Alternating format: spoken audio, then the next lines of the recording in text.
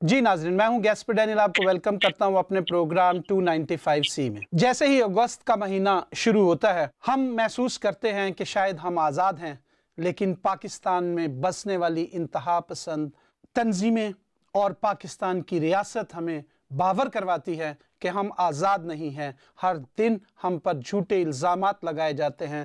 آج، اس وقت بھی دو بیٹیوں پر، سونیا اور سائمہ پر ایک ایف آئی آر صدر تھانہ گوجرہ میں ضلع ٹوبا ٹیک سنگ میں کاٹی گئی ہے، جس میں انہوں نے کہا ہے کہ انہوں نے قرآن کے سپارے جو ہیں وہ ردی کے ایک بورے میں ڈال کر خالی پلاٹ میں رکھے ہیں۔ یہ ایف آئی آر کہتی ہے۔ لیکن ایسا نہیں ہے۔ مسیحی کبھی بھی قرآن پاک کی بے رونتی نہیں کرتے۔ آج ہمارے ساتھ مہمان ہیں۔ میں انہیں سلوٹ کرتا ہوں کہ جیسے ہی مسیحوں کے ساتھ کوئی ایسا واقعہ ہوتا ہے، سب سے پہلے وہ پہنچتے ہیں، اپنے تمام کام، فیملی چھوڑ کر سب سے پہلے اس وگوا والی جگہ پر پہنچتے ہیں تاکہ مسیحوں کی آواز بن سنے جی اکمل بھٹی صاحب، میں آپ کو ویلکم کرتا ہوں اپنے پروگرام 295 سی میں۔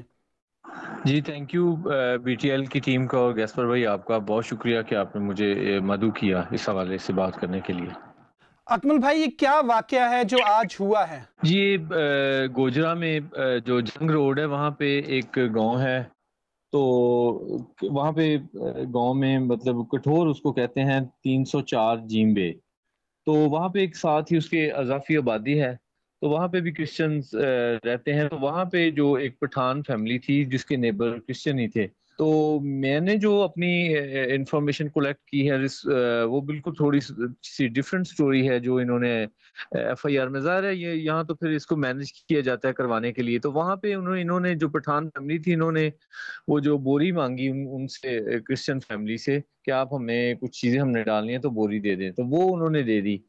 اور پھر بعد میں وہ لے لی انہوں نے اور کچھ دیر بعد انہوں نے شور کرنا شروع کر دیا جی اس بوری میں سے پھٹے ہوئے سپارے نکلے ہیں جو ہم نے آپ سے لی تھی۔ حالانکہ کون کوئی اس ملک میں کوئی پاگل ہوگا جو اس طرح کی انہیں قرآن پاک اس بوری میں ڈال کے دے گا۔ تو یہ اس طرح کی پھر وہ شور کافی وہاں پہ اکٹھا ہو گیا۔ انہوں نے عورت کو پکڑنے کی کوشش کی، اس نے جا کے پناہ لے لی مسلمانوں کے گھر میں۔ پھر انہوں نے بھی نکال دیا۔ پھر یہ کھیتوں میں جا کے چھپی وہاں سے اس کو اس کے پیچھے لوگ لگے انہوں نے تشدد بھی کیا لیکن تب تک وہ ون فائیو پہ کال ہو چکی تھی پولیس پہنچ گئی انہوں نے اس کو ریسکیو کیا اور بھی لوگ جو تھے بےچارے وہ کچن وہ اپنے گھر بار کو تالے لگا کے کچھ لوگوں نے یہ بھی بتایا کہ پولیس جب پہنچی ہے تو انہوں نے لوگوں کو مار کے بگایا کہ یہ آپ کو مار دیں گے لوگ آپ یہاں سے نکل جائیں۔ تو پھر وہ لوگ بےچارے چھپتے چھپاتے کچھ کھیتوں میں وہاں سے جس جس کو جو جو بھی سورس ملا ٹریول کا تو پھر وہ وہاں سے بھاگے۔ اور میں سمجھتا ہوں کہ یہ اس طرح کی صورتحال میں لوگوں کو بگا دینا گھروں سے۔ پولیس کا کام تو ہے یا انتظامیہ کا، حکومت کا، ریاست کا، کہ وہ ان کی کانسٹیٹیوشنل رسپانسبلٹی ہے کہ وہ تمام شہریوں کی جان و مال اور املاک کا تحفظ کریں۔ اور انہیں کرنا بھی چاہیے۔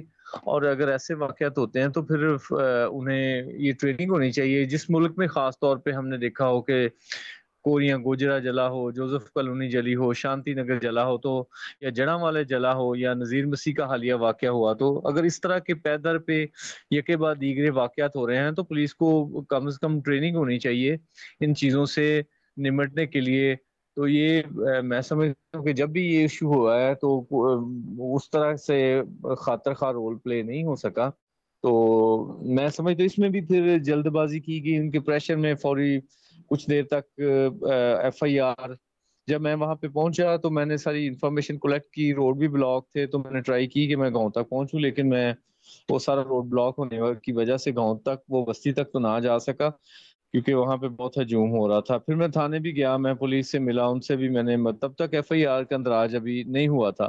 تو ساری انفارمیشن لی تو میں نے ان سے کہا کہ یہ جو ایس پی لیول کا آفیسر ہے، اس، وہ انویسٹیگیشن کرے گا۔ ایک سو چھپن جو ہے ضابطہ فوجداری کی دفعہ، اس کے مطابق جو وہ ایس پی رینک آفیسر جب وہ انویسٹیگیشن کرتا ہے تو پھر اس کے بعد، انکوائری کے بعد وہ دو سو پچانوے بی کا مقدمہ درج کیا جانا چاہیے۔ لیکن یہ آپ کو پتا ہے کہ یہاں اس ملک میں دباؤ اتنا زیادہ بڑھ جاتا ہے اور ہماری جو انتظامیہ ہے، ہماری جو پولیس ہے، وہ بالکل دباؤ برداشت نہیں کر پاتی۔ بلکہ دباؤ کا شاید ان کی وش بھی ہوتی ہے کہ چلیں، یہ جی کسی نے کیا اگر توہین قرآن یا توہین رسالت، اس کو پھر کیفرے کردار تک پہنچانے کی کوشش تو سب کی ہوتی ہے۔ تو پھر فوری مقدمہ بھی بعد میں درج ہو گیا اور یہ ساری صورتحال۔ اور حالات تو کوشش کر رہی ہے، پولیس کنٹرول میں ہوں۔ تو گرفتار ہونے سے شاید اس طرح اب رائٹس تو آگے نہیں بڑھ سکے، لیکن میں سمجھتا ہوں میری اپنی انفارمیشن ہے کہ یہ بالکل بے بنیاد مقدمہ ہے، جھوٹا ہے، اور دیکھیے گا، وقت ثابت کرے گا کہ یہ بھی آگے جا کے خاتون جو ہے وہ بے گناہ دونوں خواتین جو ہے قرار پائیں گی۔ یہ صرف کچھ ذاتی دشمنی کا شاخص لگتا ہے، اور آگے جا کے انویسٹیگیشن میں چیزیں ضرور سامنے آئیں گی۔ اگر پولیس نے انکوائری پراپر کی، اچھی ٹرانسپیرنٹ اور بغیر کسی دباؤ کے اگر انویسٹیگیشن ہوئی تو پھر تو یقینی طور پہ یہ بے گناہ قرار پائیں گی۔ بالکل۔ لیکن جس طرح کا سننے میں آیا ہے کہ وہاں پر پریشر ہے پولیس پہ، تھانے میں وہ دہشت گرد آرگنائزیشن جو اس وقت پاکستان میں، پورے پنجاب میں اپنی دہشت پھیلا رہی ہے، توہین رسالت کے کیسوں پر، وہ وہاں پر اس وقت تھانے میں موجود ہے۔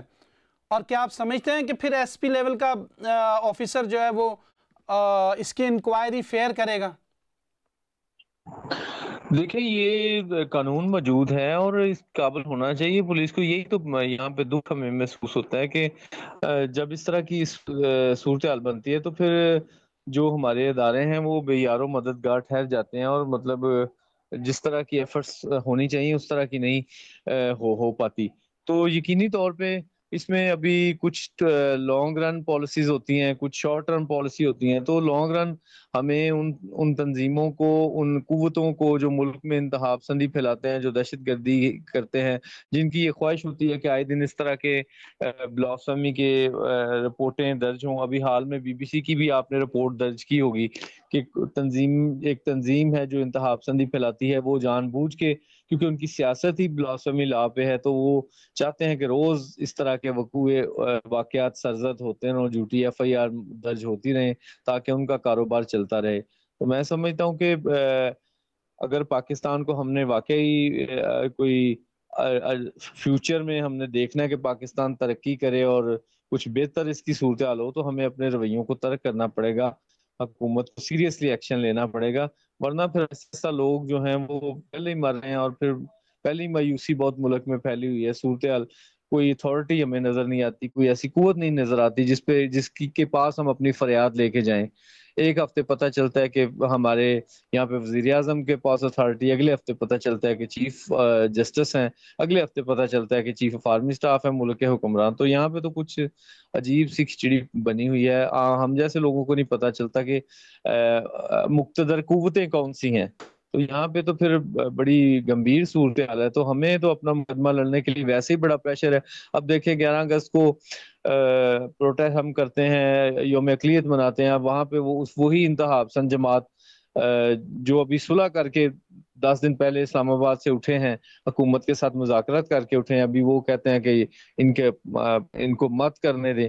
تو ہماری تو یہ آواز جو پورا من ہم احتجاج کرتے ہیں، اس کو بھی کچلنے کی کوشش کی جا رہی ہے۔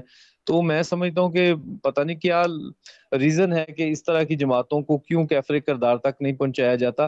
حالانکہ جو پولیٹیکل پارٹیز رولز دو ہزار دو ہیں، اس کے مطابق جو جماعت سیکٹیرین وائلنس میں ہیٹ کرائمز میں اور اس طرح کے جلاؤ گراؤ کی پالیسی اختیار کرتی ہے، ملکی مفادات کے خلاف جاتی ہے، تو وہ as a political party register ہی نہیں ہو سکتی۔ لیکن اس کوئی ہے جو اس اس، ان باتوں کو دھیان میں رکھے اور ایسی جماعتوں کو ان کے کردار کو محدود کرے اور آہستہ آہستہ انہیں مطلب روکا جائے ایسے وائلنس کرنے سے۔ تو میں سمجھتا ہوں کہ بالکل آپ صحیح کہہ رہے ہیں کہ صورتحال تو مشکل ہے لیکن بہرحال پھر بھی ہماری نظر تو حکومت کی طرف ہے نا کیونکہ حکومت کے پاس اختیارات ہوتے ہیں ریسورسز بھی ان کے پاس ہے اب عام شہری تو نہیں لڑ سکتا نہ اس کے پاس قوت ہے نہ طاقت ہے یہ لوگ تو بےچارے اپنی جانیں بچا کے بھاگتے ہیں۔ تو یہ کب تک ہم بھاگتے رہیں گے؟ دیکھیں صورتحال۔ اب تو یہ صورتحال ہوگی ہے کہ اگر کوئی لو میرج ہو جائے کوئی کرسچن لڑکا مسلم لڑکی سے کرے تو پھر بھی محلے کے محلے خالی ہو جاتے ہیں۔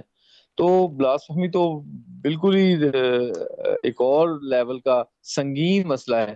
تو میں یہ پھر آپ کے چینل کے توسط سے یہ گزارش کرتا ہوں کہ حکومت ان چیزوں پہ غور کرے اور مسیحوں کو پروٹیکشن فراہم کرے، خصوصی پنجاب حکومت۔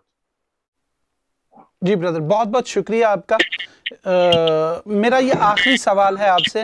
کیا یہ ایک روٹین بن گئی کہ کچروں کے تھیلوں میں سے جو ہے قرآن پاک کے سپارے مل رہے ہیں اور پھر کیسز بن رہے ہیں؟ تو کیا حکومت کو کوئی ایسا لاہ عمل بنانا چاہیے کہ اگر وہ قرآن کتابیں یا کوئی چیز بیچتے ہیں تو وہ مینورٹیز دیکھ کے انہیں نہ دیں یا اس طرح کے واقعات نہ کیے جائیں؟ کوئی ایسا لائے عمل آپ کی ذہن میں آتا ہے کہ کیا کیا جائے اس کے لیے؟ کیونکہ یہ واقعات تو سپاروں والا بار بار ہو رہا ہے۔ دیکھیں اس میں ابھی تک کوئی بھی ایسا مقدمہ نہیں آیا کہ جن کو سپریم کورٹوں کورٹ نے بھی بری قرار دیا ہو لیکن حکومت نے جنہوں نے جھوٹی ایف آئی آر کرائی اس پہ کبھی ایکشن نہیں ہوا۔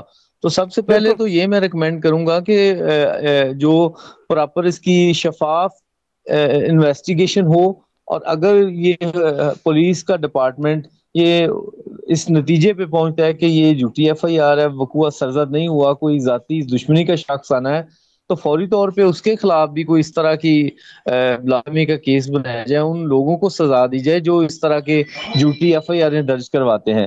تو یہ سب سے میں تو یہی ریکمینڈ کروں گا۔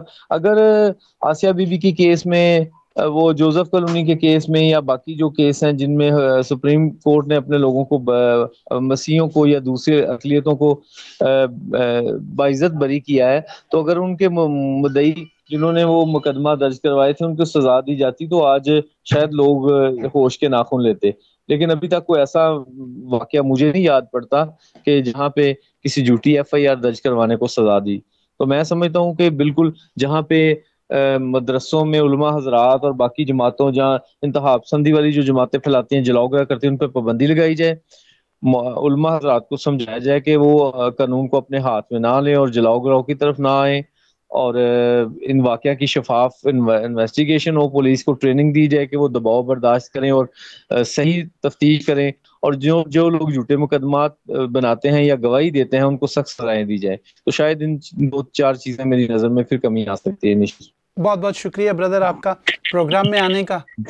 جی ناظرین یہ صورتحال ہے ملک پاکستان کی کہ کوئی مسیحی جو ہے وہ اس وقت محفوظ نہیں ہے کہ وہ قرآن پاک کے اوراق جلائے یا نہ جلائے، کچرے میں سے ملے یا نہ ملے، ان پر یہ الزام لگنا ہے، کیونکہ ایک مافیا ہے جو پاکستان میں اسپیشلی پنجاب میں بڑی تیزی سے کام کر رہا ہے کہ مسیحوں پر مینورٹیز پر بہت سے کیسز بنائے جائیں اور اس طرح مینورٹیز کو تنگ کیا جائے، ان کی بیٹیوں کو کڈنیپ کیا جائے۔ یہ صورتحال ہے، آنے والے وقت میں ہم اس پہ بھی، اس سے بھی پردہ ہٹائیں گے کہ وہ گروپ کون سا ہے اور کس طرح وہ کام کر رہا ہے۔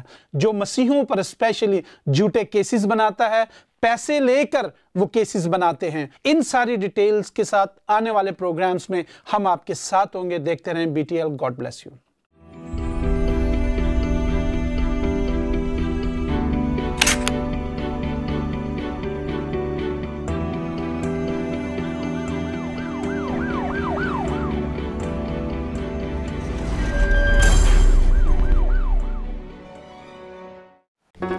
Do not forget to like the video, subscribe BTL TV and press the bell icon to receive notifications.